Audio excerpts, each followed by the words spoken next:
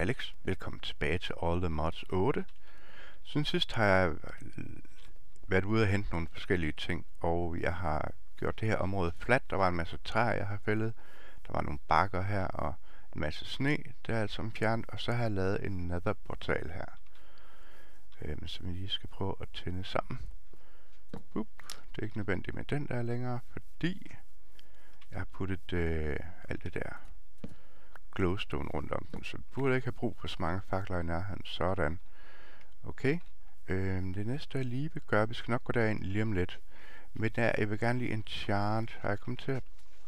Er det ikke... Åh, oh, det er ikke så... Hvor er det henne? Her. Så jeg kommet til at lukke herind til. Ja, okay. øhm, det er fordi min økse er snart i stykker, så lad os se, hvad vi får her. Efficiency 3.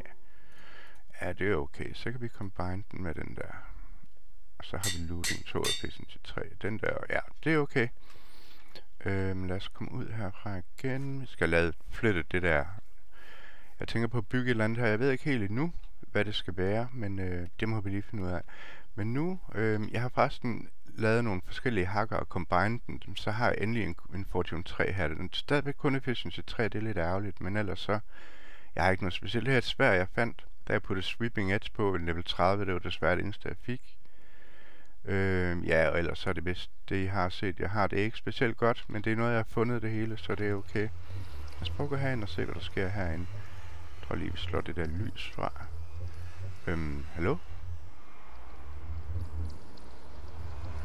Ah, nå, okay. ah, men det er fordi, jeg har skruet ned på det der... Den der swirly effekt, du får, når du går igennem en portal. Den har skruet ned for, der kan du den her modpack. Der følger også forskellige shaders med den her modpack. Men de gør det alt sammen meget mørkt, og det bryder jeg mig egentlig ikke om. Åh, oh, oh. Hvad er det her? Der er en spawner lige her, okay. Øhm, vi kan nok ikke slukke for den, men...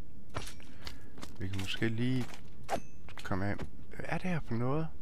Åh, oh, det lagger, fordi den loader. Magma Cube, det tror jeg ikke, jeg kan slukke for den. Men jeg tror heller ikke, jeg har brug for den, så det er måske okay. Er der noget her, vil gerne have? Jeg vil gerne have det der. Ja, ikke rigtigt. Den der, den er god. Den kan vi lave pile ud af. De blå, dem vil vi gerne have. Øh, Swarmy Enemies Bladed Spirits. Wow, wow, wow, wow, wow. Hvem, hvem gør hvad? Der wow, okay. Der er simpelthen... Ja, okay. Lag, lag, lag.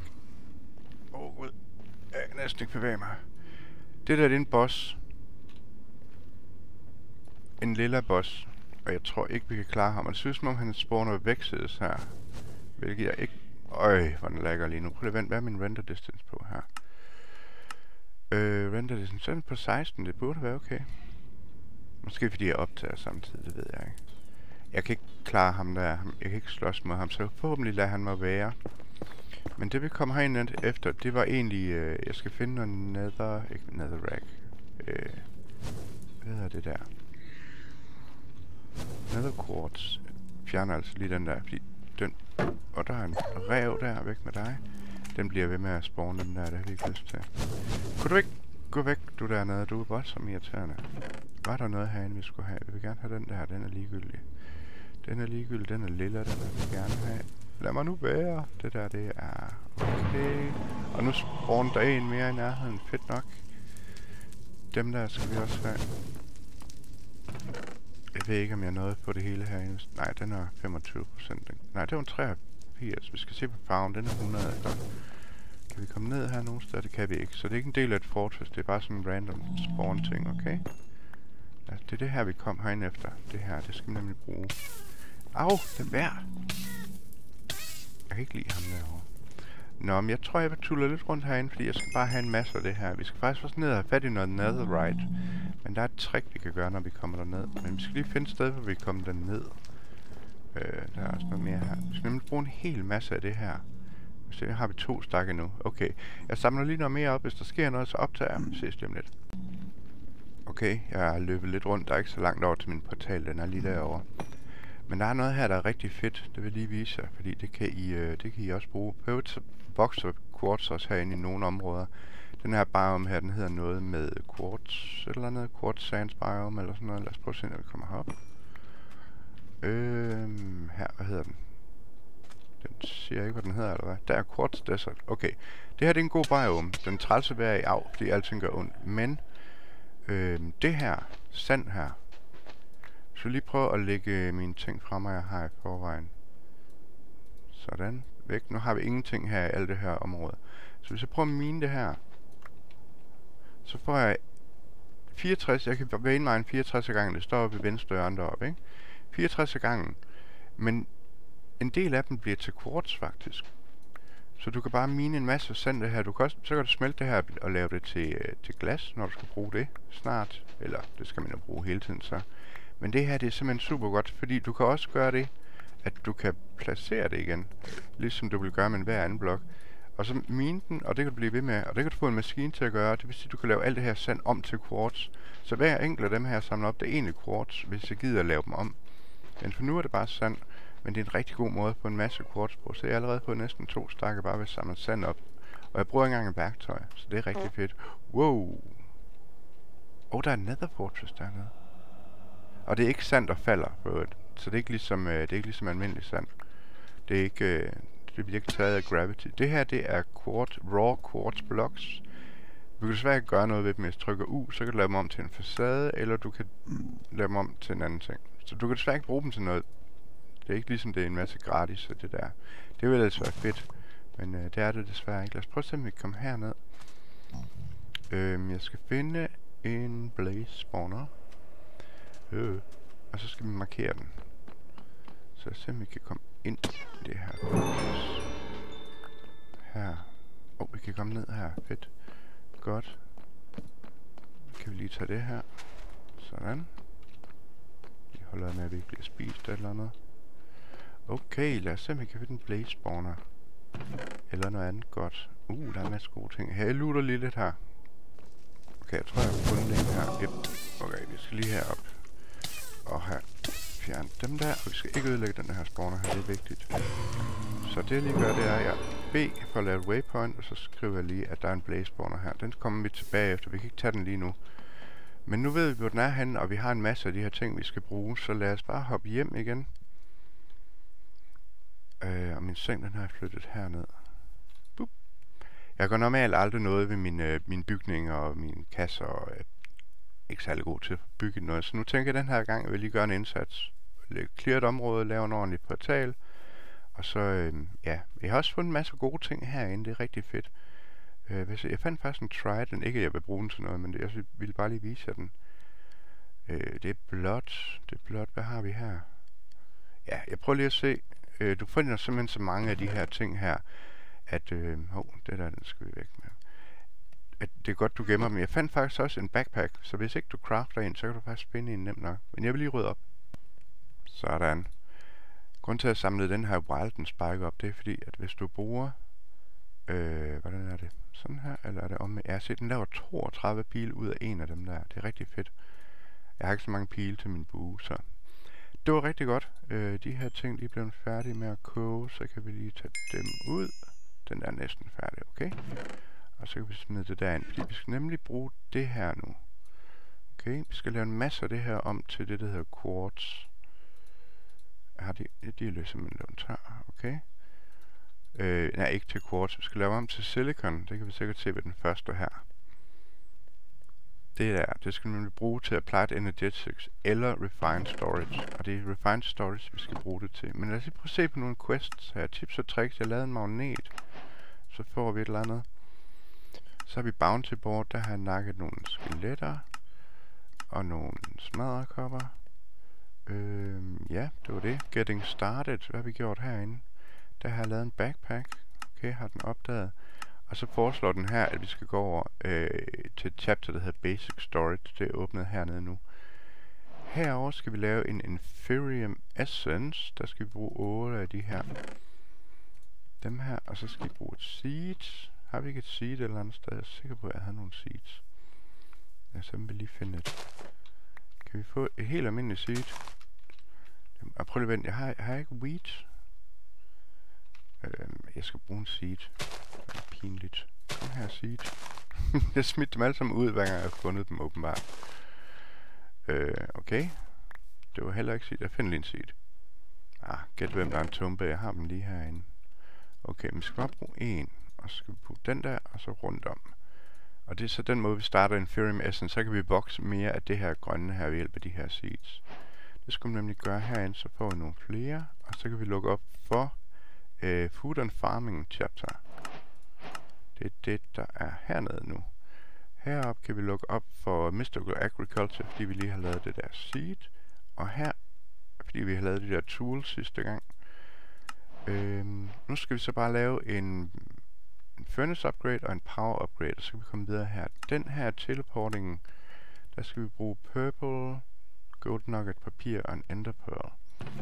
Lad os se, har vi noget papir? Jeg tror faktisk ikke, jeg har noget papir, så det er ligegyldigt lige nu. Ja. Okay, lige lidt den der der. Nu har vi fået endnu mere en Energy Upgrade. Det var meget godt. Dem havde vi en af i forvejen. Og jeg, hvordan jeg har fået træ, det var lidt weird. Åh, oh, vi har papir her. Godt. Så vi skulle bruge en enderpearl, og vi skulle bruge papir. Og hvad var det mere, den sagde? Jeg har den herovre. Øh, to Golden Nuggets. Nu regner det. Og så sneer det sikkert på mit nye landskab. Åh oh, nej. Og purple. Havde jeg noget purple her? Jeg tror nok, de her allium, de bliver til purple. Det var derfor, jeg tog dem nemlig. Yes. Skal vi bruge tre, eller hvor mange skal vi bruge? Det kan jeg ikke huske. Så skal vi nemlig lave dem der. Og dem kan du bruge ligesom den her. Der kan jeg binde dem her, for eksempel til den plads, og så kan jeg højreklikke med dem, og så teleportere dem mig her tilbage. Men fordi vi har, øh, jeg har den der slash home funktion, så har jeg ikke behov for at bruge den. Så det var meget godt. Så vil jeg af med alle de her ting her, vi har fundet. Dem der skal vi gemme, fordi vi skal bruge det senere også. Vi skal bruge masser af purple, men okay. Så får vi nogle flere af dem der, okay. Hvad mangler vi her? Vi skal lave de her warp plates her. Men jeg har ingen amethyst, så det kan vi ikke gøre endnu. Det er lidt ærgerligt, okay. Så furnace upgrade, det er en iron furnace. Og hvad var det sidste, vi skulle gøre dernede? Det var en coal generator. Okay, det gør jeg lige klar til at sove. Sådan. Så skulle vi lave en coal generator. Der har jeg fundet nogle ting frem, og vi skal bruge nogle af dem her. Bare sådan der. Og hvad skal vi så der?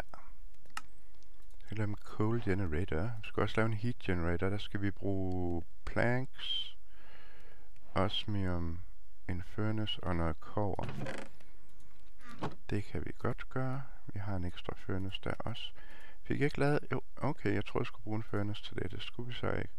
Planks, osmium. Jeg glemte at tage osmium. Det var dumt. Så skal vi bruge nogle planks. Sådan.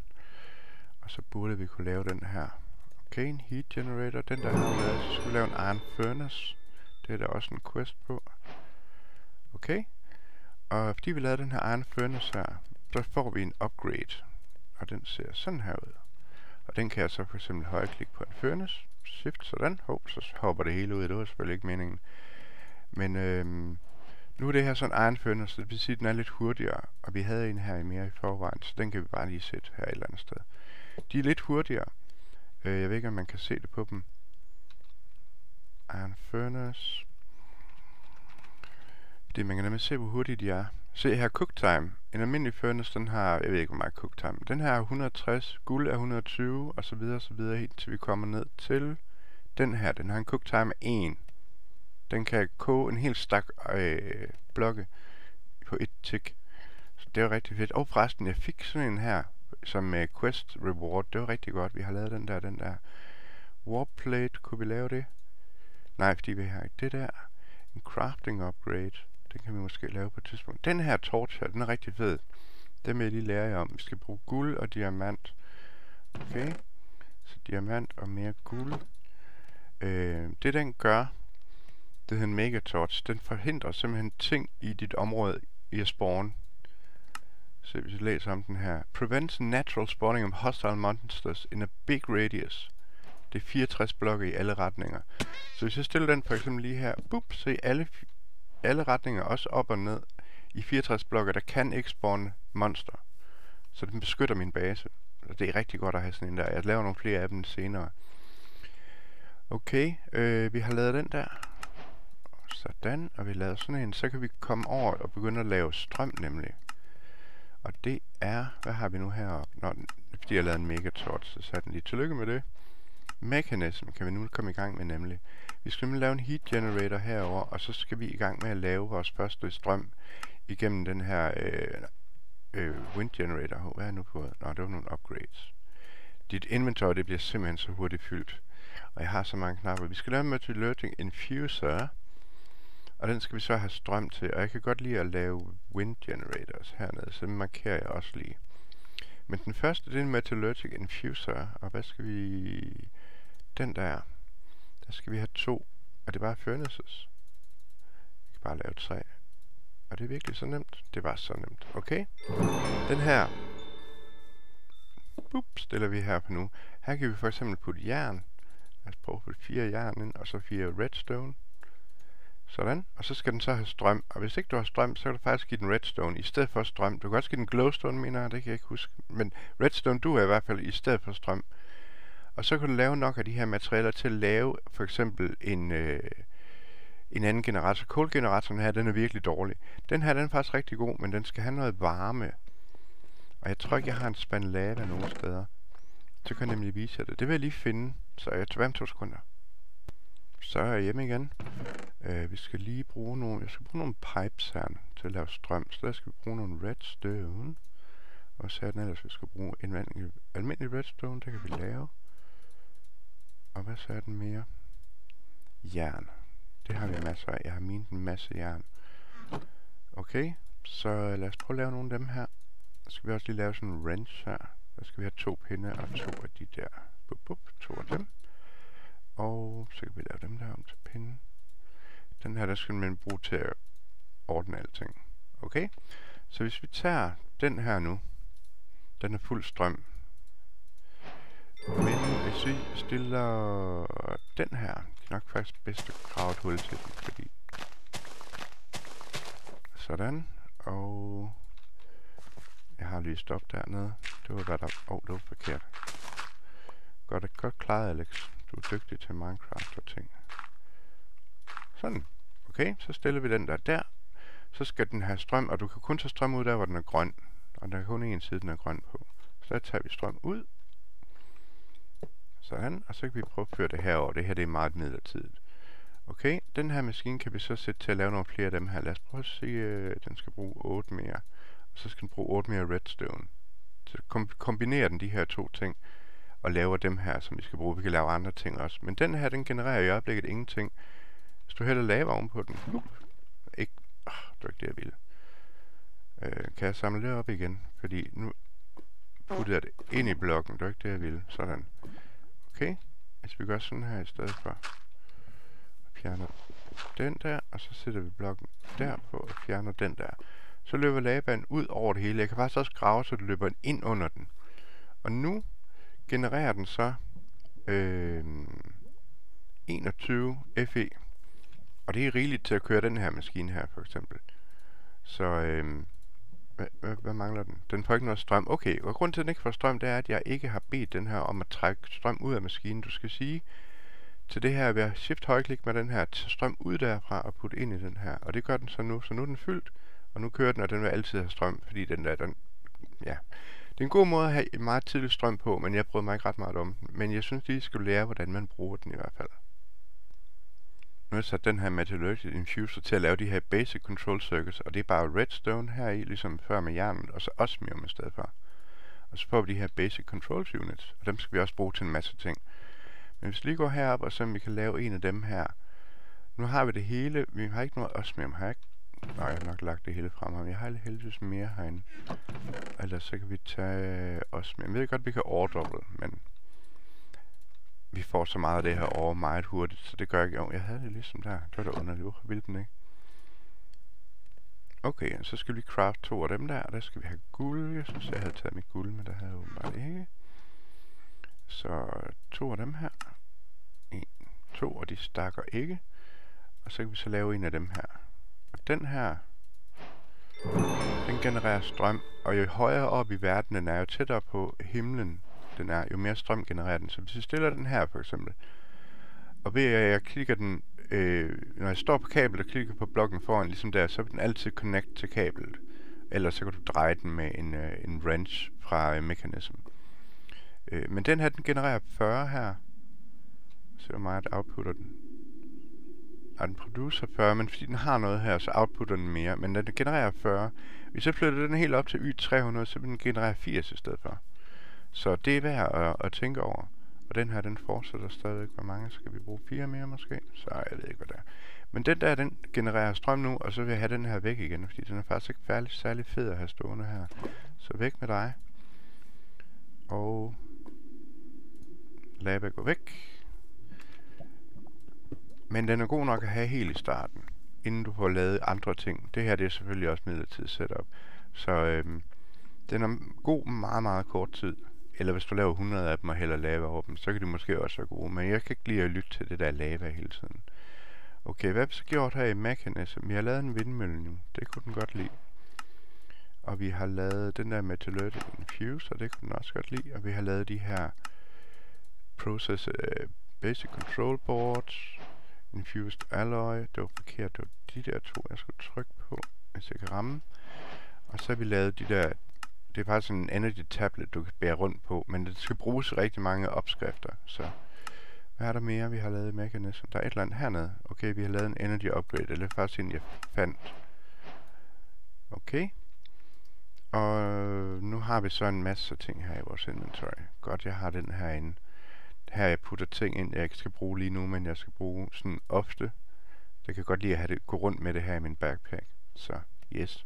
Men så fik vi noget strøm op at stå, og vi fik de første mechanism-maskiner i gang. Sådan. Det er rigtig godt. Okay, jeg tror lige, vi har tid til lidt mere i dag. Så hvis vi opgraderer den her Iron Furnace til en Gold Furnace, det fik vi ikke noget for. Okay, så kan vi opgradere den til en Diamond Furnace. Kan vi gøre mere u? Emeralds, hvor mange har jeg dem? Øhm, 20 år, lad os bare gøre det. Fordi jo bedre, jo hurtigere en furnace vi får, jo bedre. Og hvad med den her? Der skal, okay, det kan vi ikke. Men det er godt, fordi vi skal bruge den her. Øh, og så havde jeg sådan noget, hvad gør det der kål der? Det her tiny fordi vi skal koge en og to ting ad gangen lige om lidt. Okay, så nu er den lavet. Øh, så kan vi lige pakke den der ud igen. Så vil jeg gerne i gang med det her Refined Storage, og der skal vi starte med at lave en controller. Og vi skal have noget af det her Quartz Enriched Iron her, så det laver vi lige, lad os lave to stakker, vi skal nok få brug for det.